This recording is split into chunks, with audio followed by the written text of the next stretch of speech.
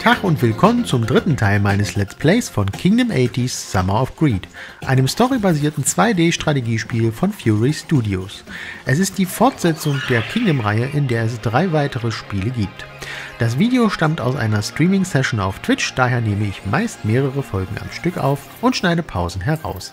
Außerdem füge ich Kapitelmarker hinzu, diese findet ihr unten in der Beschreibung, bei YouTube auch in der Abspielleiste und bei PeerTube auf meiner Instanz über den Kapitelbutton im Player. Wir spielen die deutschsprachige Fassung mit Untertiteln auf macOS. Ich freue mich über eure Kommentare und wünsche gute Unterhaltung.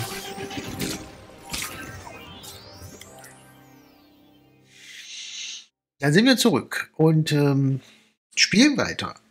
Eine Runde äh, Kingdom 80s, wo wir immer noch im ersten Level sind.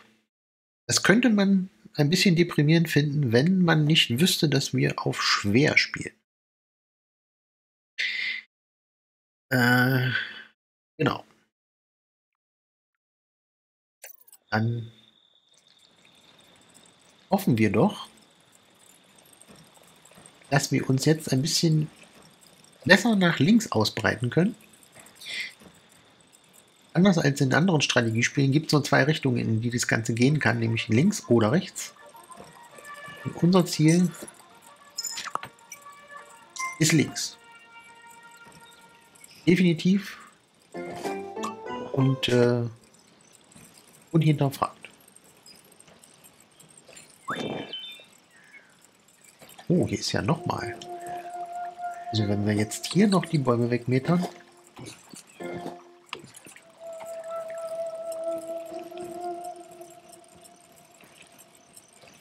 Genau, hier haben wir wieder ein Tor. Also hier müssten wir dann hin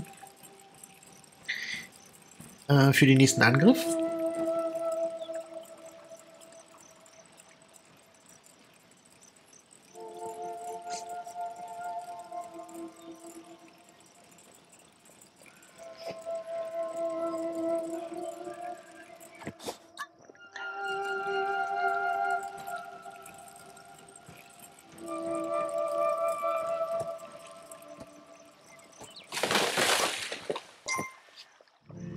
Geneigt zu sagen, wir bauen hier unsere nächste Mauer erstmal auf.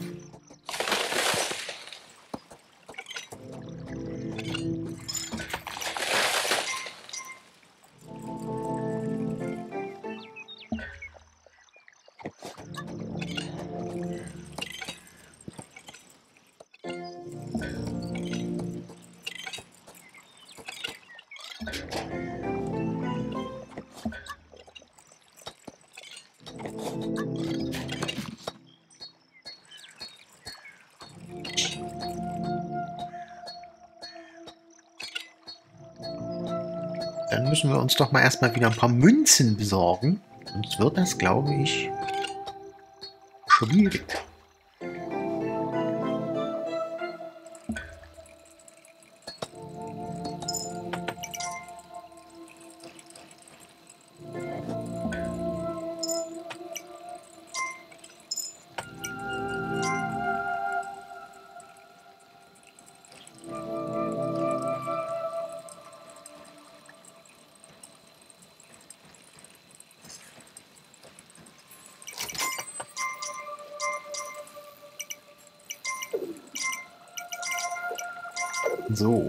Erstmal wieder Münzen getankt und das sollte uns doch jetzt die letzten Meter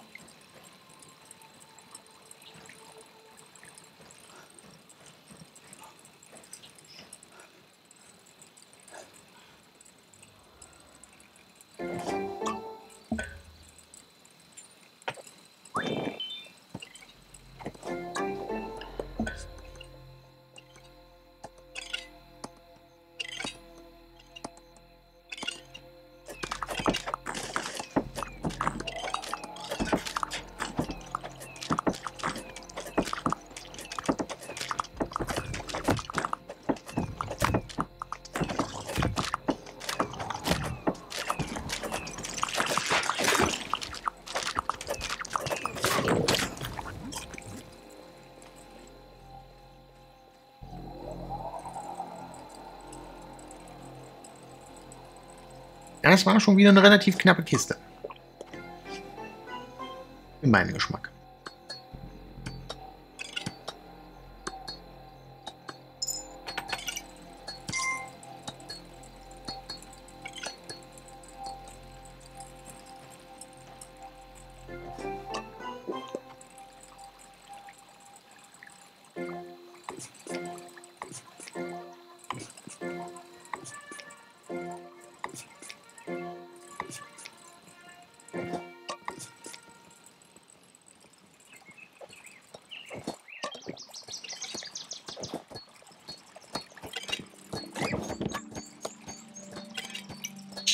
Wieder ein Reh gekillt.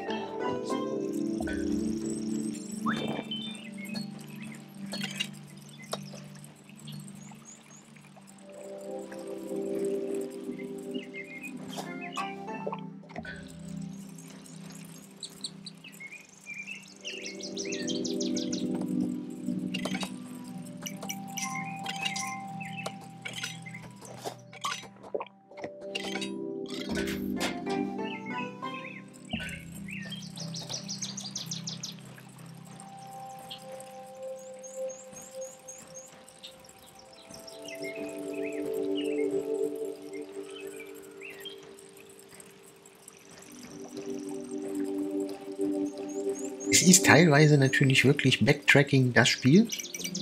Man muss immer wieder nochmal zurück, um da die Münzen und alles Mögliche einzusammeln, was da so zur Verfügung ist. Wenn man längere Zeit das nicht holt, dann hat man natürlich einen sehr großen Vorrat.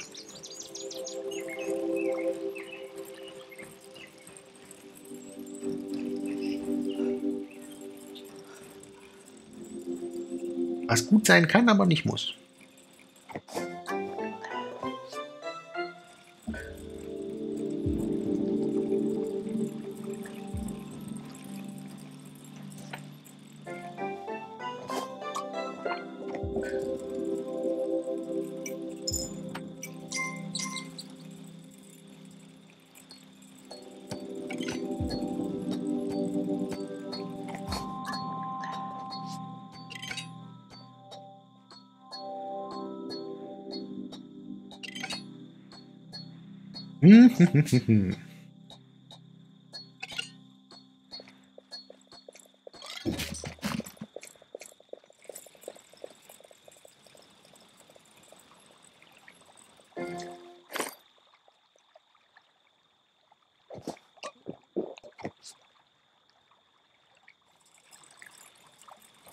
So, ich glaube, jetzt ist es ein guter Zeitpunkt.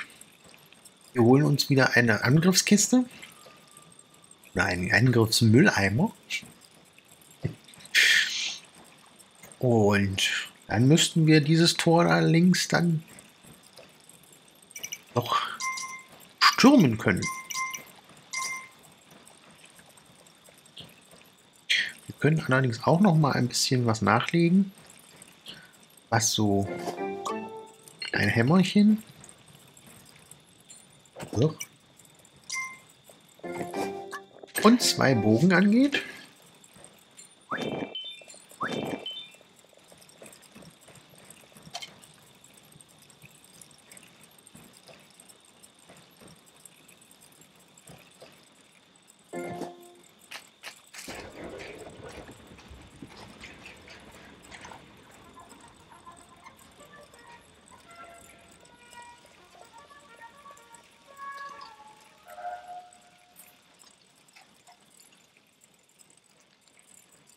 19 Tage sind wir also jetzt hier schon aktiv. Das kommt einem nicht so lange vor, muss ich sagen.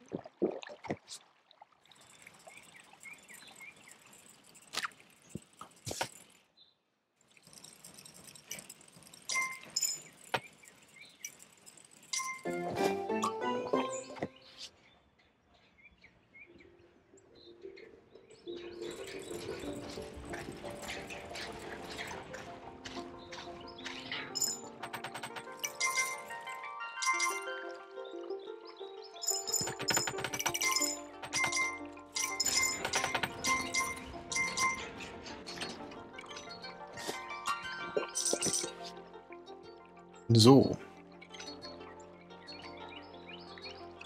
Wir haben alles, was wir brauchen.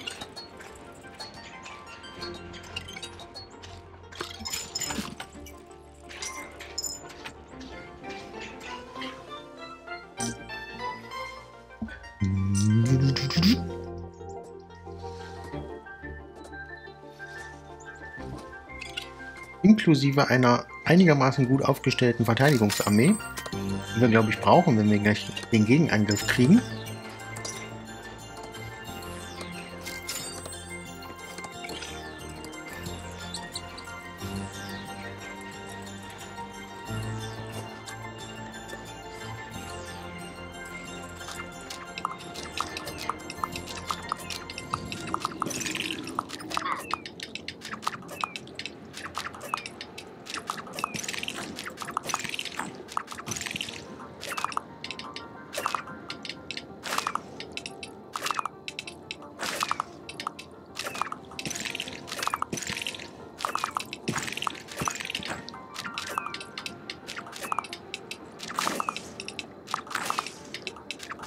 Ja, das sieht gut aus. Das sollte doch klappen.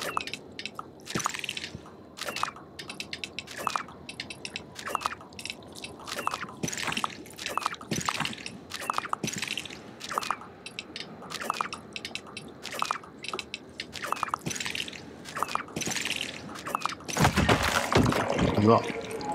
Thomas?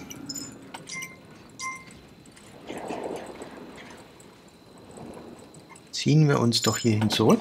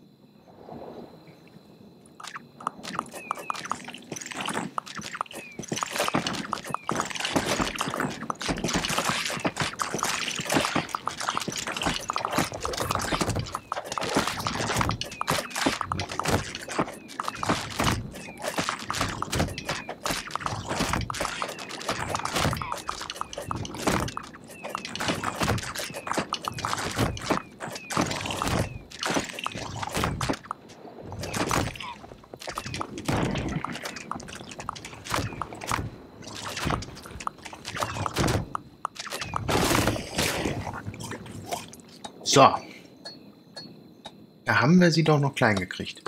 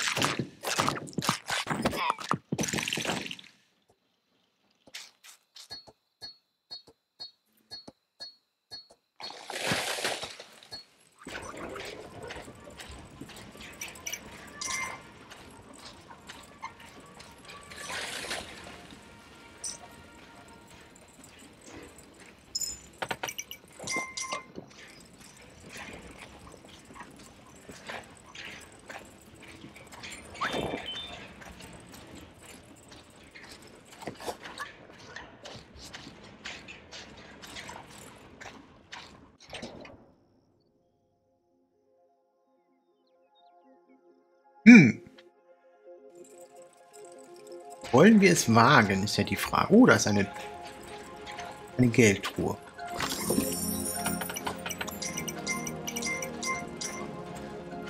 Da ist ein weiteres Tor. Es wäre ja gedacht, wenn wir nicht auch dieses Tor jetzt erledigen könnten.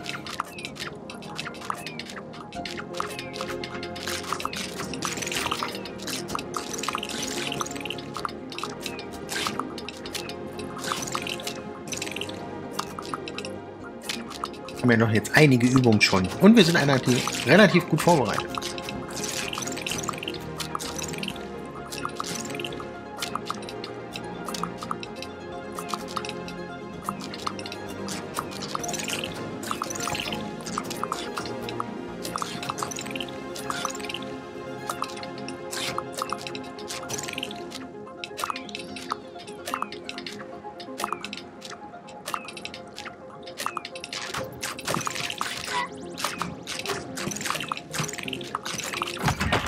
Und da haben wir wieder einen.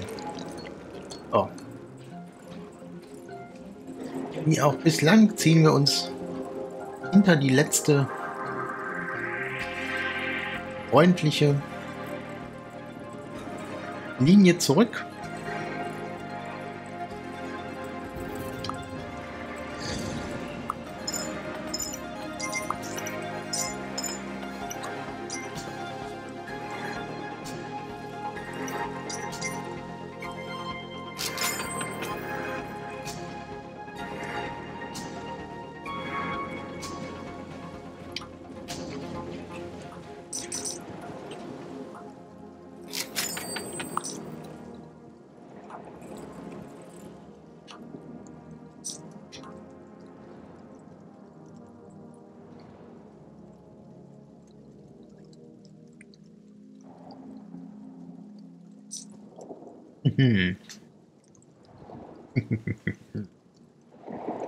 Ja. Sollte jetzt ja so sein, dass die angreifenden Truppen immer weniger werden, weil wir ja einige der Tore geschlossen haben. Gut, das sieht erstmal noch nicht danach aus.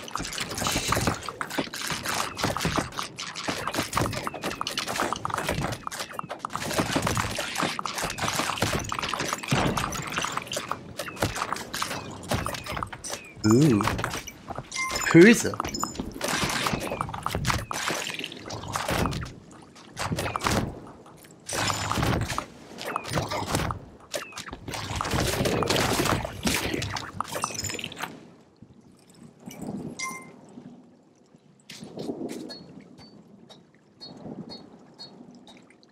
Ah, so ein Müllbehälter hält schon einiges aus, muss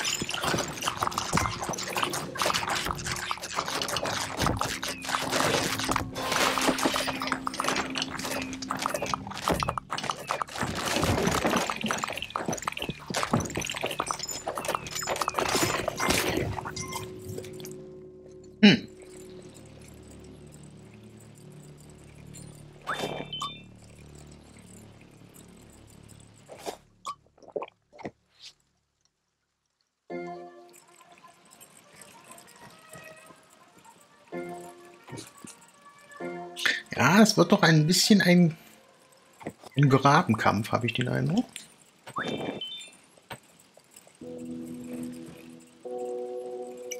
Mal gucken, wie weit müssen wir denn hier eigentlich noch? Wir haben hier ein...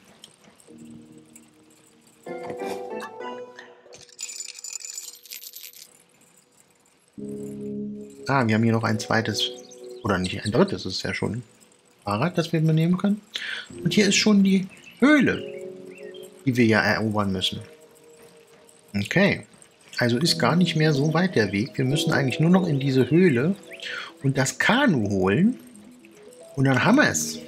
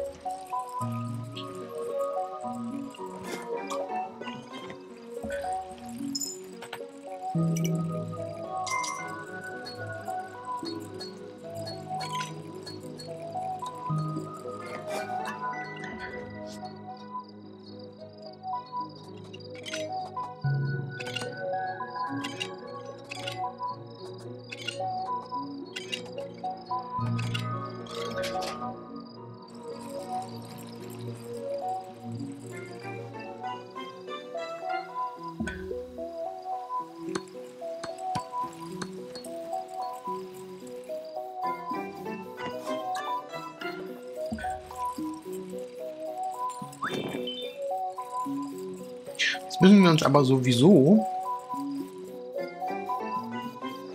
erstens ein bisschen mehr Geld wiederholen und zweitens ja nochmal so eine Barrikade bauen lassen.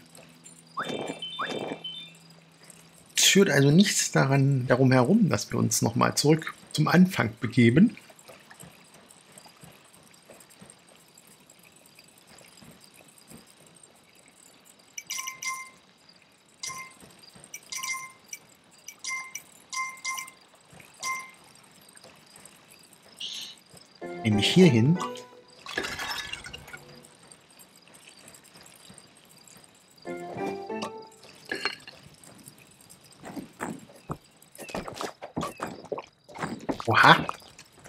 Wir aber doch an einiges an Strecke eingebüßt, habe ich den Eindruck.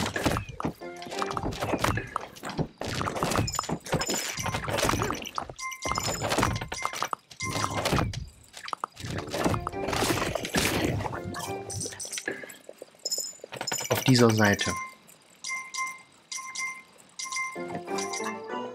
Das ist ja nicht cool.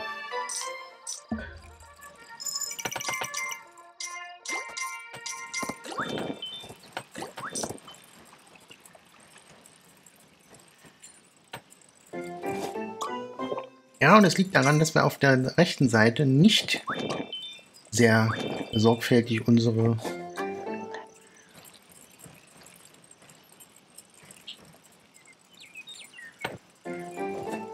Befestigungen aktuell gehalten haben. Das muss man schon sagen, da haben wir selber Schuld.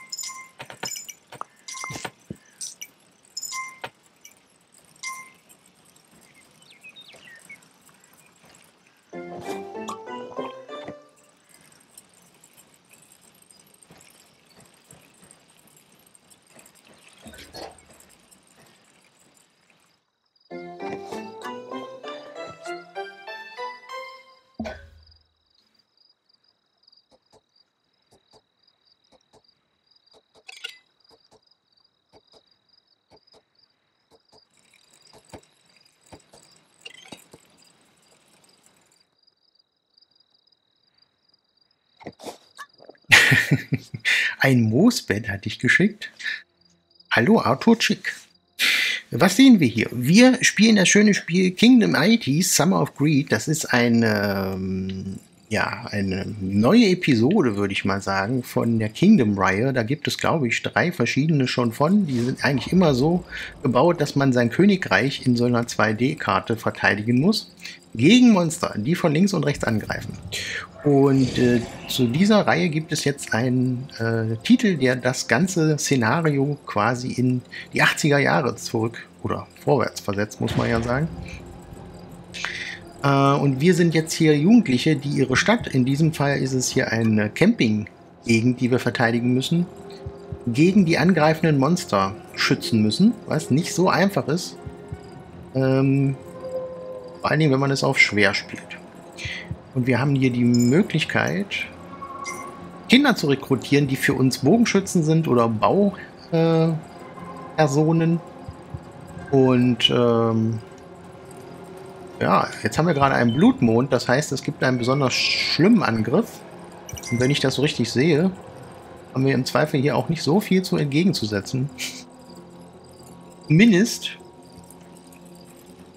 haben uns die Monster, während wir hier ganz entspannt auf der linken Seite versucht haben zu expandieren, auf der rechten Seite mächtig äh, den Arsch versucht, möchte ich mal sagen. Ja, finde ich auch. Also sind halt viele Zitate aus den 80er Jahren Filmen und Serien drin. Ähm, man kann sowas wie E.T. wiedererkennen oder Freitag der 13. und verschiedene Fahrzeuge, die wir später im Spiel noch sehen werden. Ich habe das auf normal schon mal gespielt. Das ging eigentlich relativ flott. Äh, sind, glaube ich, fünf oder sechs Level, äh, die man da schaffen muss. Äh, aber wir sind jetzt seit, was haben wir? Halb zehn, also wir sind seit ungefähr halb acht, glaube ich, jetzt dabei. Äh, diesen ersten Level nochmal zu spielen auf schwer und ist wirklich schwerer, als äh, ich erwartet hätte, sage ich mal.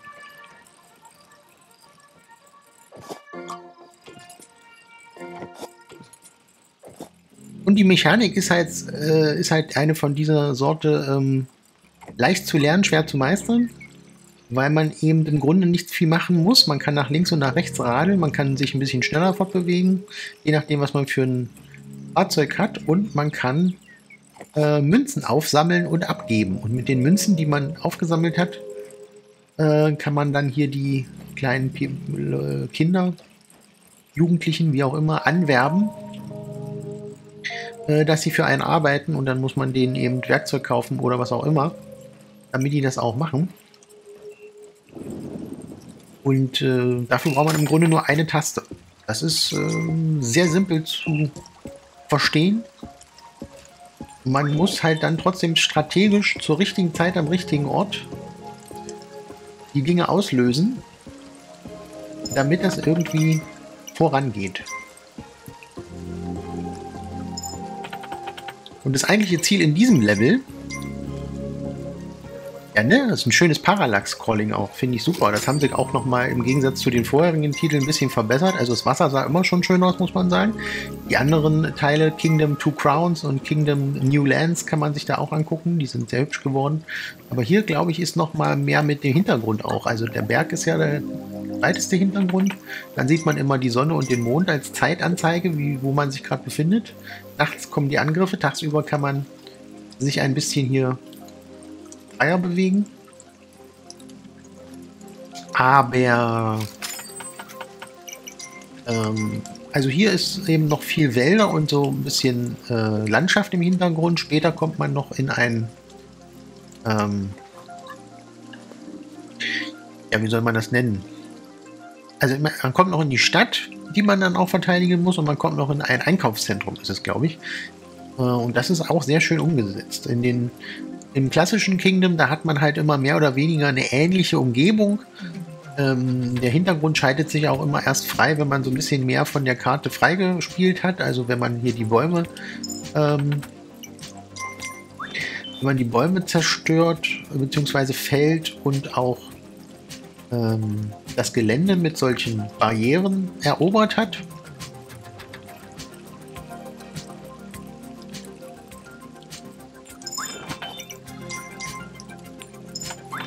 Dann funktioniert das ganz gut.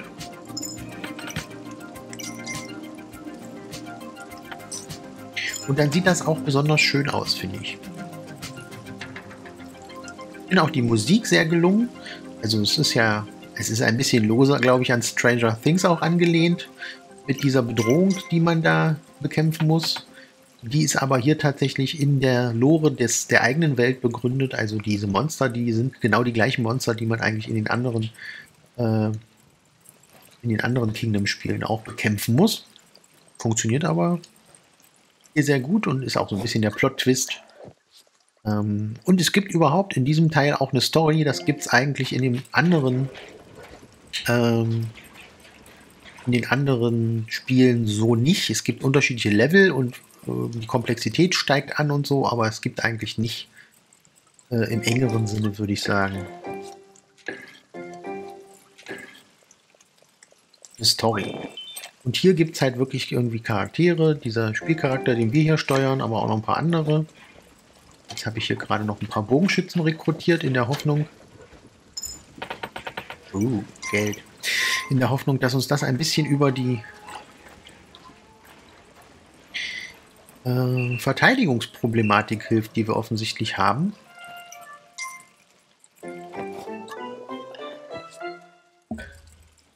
Mein Ziel wäre eigentlich jetzt dann, wenn wir nach links äh, nur noch die Höhle haben, die wir erobern müssen. Und ich glaube, es wäre hilfreich, wenn wir jetzt nach rechts äh, den letzten verbliebenen, das letzte verbliebene Monster noch platt machen. Nee, die Gegner bauen nicht selber Basen auf. Die haben quasi in der Welt schon so Tore platziert, die man nach und nach äh, zerstören muss. Und ähm, wir sehen das vielleicht hier auch gleich nochmal. Ähm, und die haben auch meistens Ein- und Ausgänge an den Enden der Welt. Also hier ist jetzt noch ein bisschen Landschaft, ein kleines, vielleicht bekanntes Raumschiff. Und dann kommt hier ähm, gleich das letzte Monster. Und dieses letzte Monster ist quasi auch ein Tor. Und das heißt, spätestens vom Ende des Levels kommen immer neue Gegner, wenn dann wieder angegriffen wird. Und äh, wenn wir die aber jetzt alle zerstören würden, was so ein bisschen das Ziel dieser Übung ist,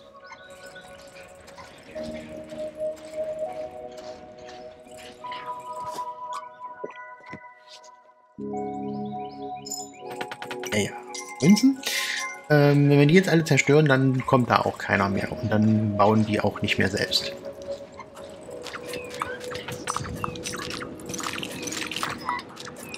Und anders als in den anderen Spielen haben wir eben noch diese beiden äh, Unterstützer auf dem Fahrrad, die dann auch noch mal ein bisschen gegen die Gegner vorgehen.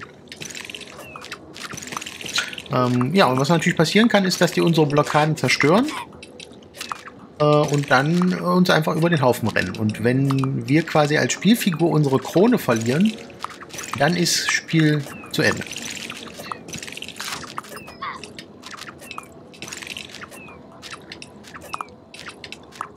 Man kann sich immer noch ein bisschen Zeit und auch ähm, Spielraum erkaufen, indem man zum Beispiel Münzen übergibt. Die kleinen Figuren rennen mit den Münzen einfach immer weg. Das äh, kann man, äh, ja, kann man zum Schutz in Anschlag bringen. Und ansonsten ähm, sollten halt die eigenen Mauern und die eigenen Verteidigung stärker sein als die Angreifer.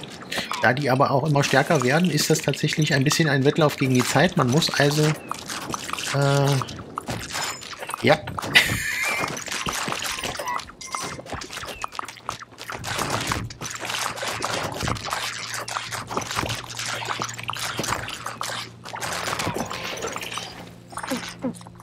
haben wir unsere Barriere eingebüßt.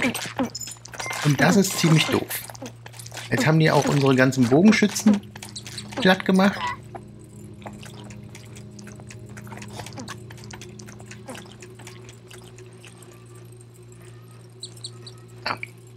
Also das war so nicht geplant. Die Idee war eigentlich, dass wir diesen letzten Turm noch zerstören. Das haben wir jetzt nicht erfolgreich gemacht. Folglich müssen wir jetzt wieder mit unserem Gold, das wir hier kontinuierlich neu generieren, indem wir bestimmte Angler, Teich und äh, Badeanstalt und sowas unterhalten. Da müssen wir jetzt wieder ein paar neue Minions quasi engagieren. Und die schicken wir dann mit neuen Bögen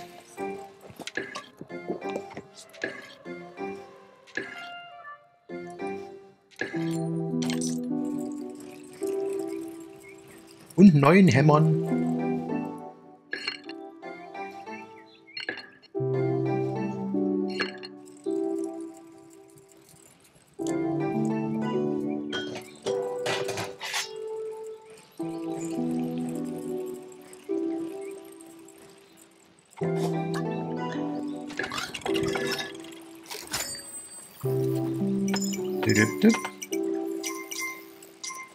Ja, schicken wir die dann da wieder hin.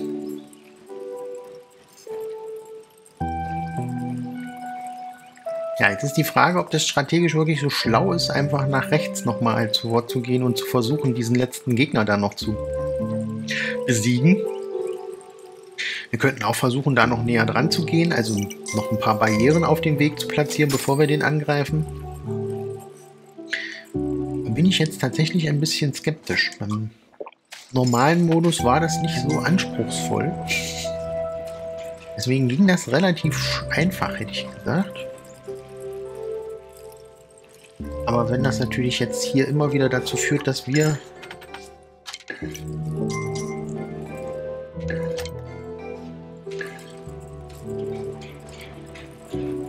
nur auf die Nuss kriegen, dann hätte ich ja nicht so Bock drauf.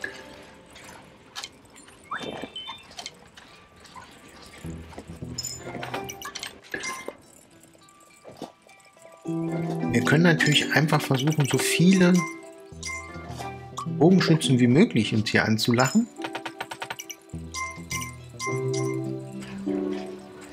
Aber irgendwo ist natürlich auch eine Grenze.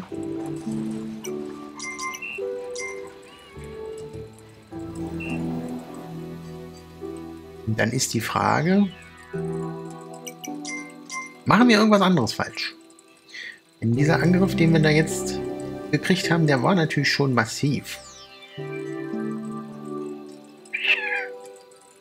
Bin skeptisch. Probier es aber trotzdem jetzt nochmal. Herzlichen Dank. Viel Freude noch und einen schönen Abend.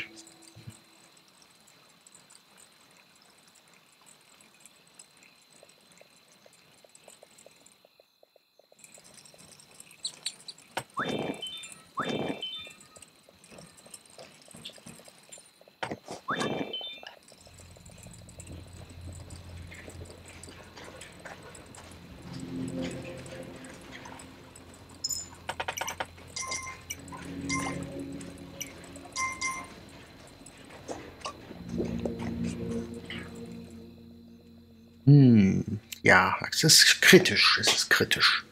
Wir warten jetzt mal hier diese Welle ab.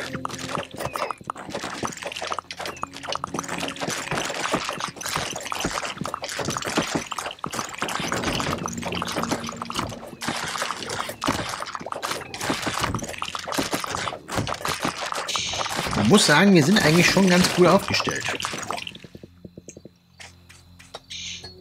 man ja jetzt eigentlich auch gesehen, dass wir hier durchaus denen eine mitgeben können.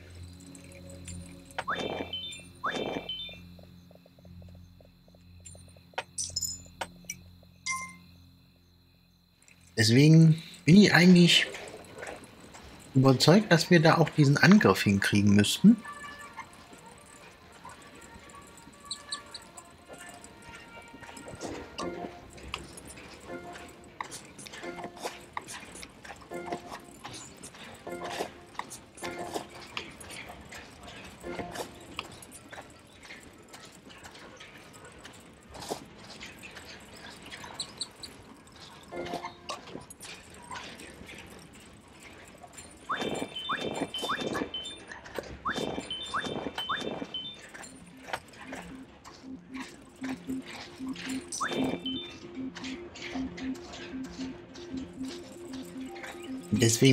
es jetzt auch einfach.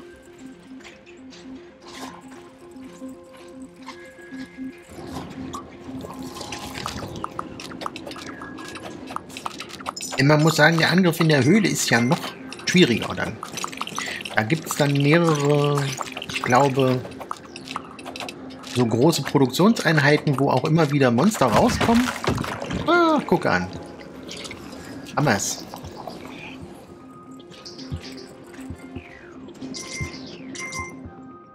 Jetzt haben wir einen kleineren Becher? Oder einen größeren Becher? Bin mir nicht so sicher, ehrlich gesagt. Aber gut, dann haben wir jetzt also zumindest von dieser Seite nichts mehr zu befürchten. Das hat ja was für sich.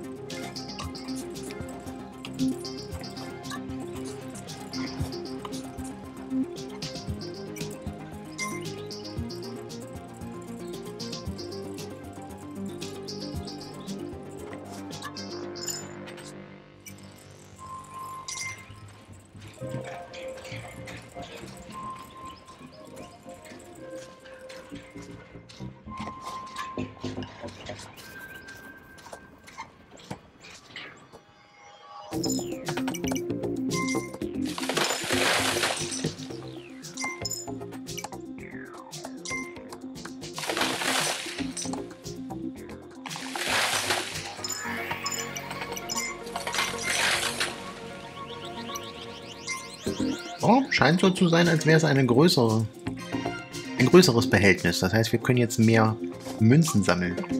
Das hat ja auch einen gewissen Charme.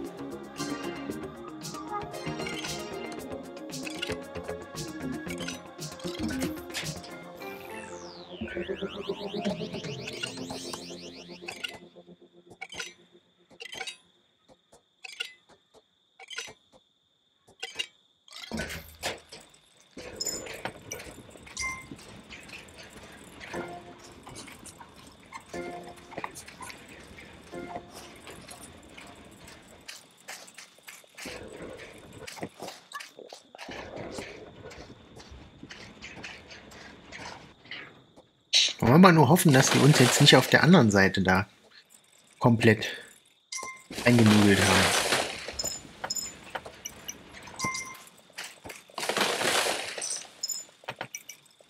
Das wäre ungünstig.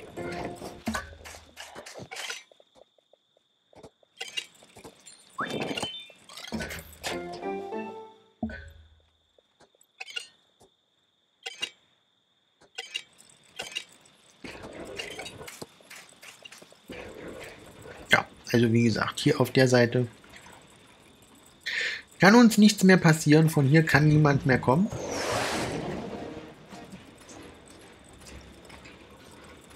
Oh, okay.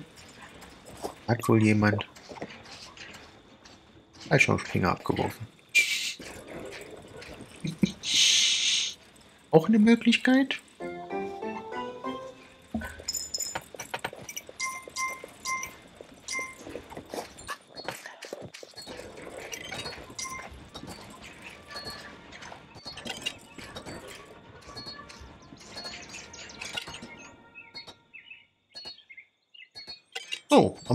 Dann ist ja klar, wenn wir die rechte Seite abgefrühstückt haben, dann ist nur noch die linke Seite.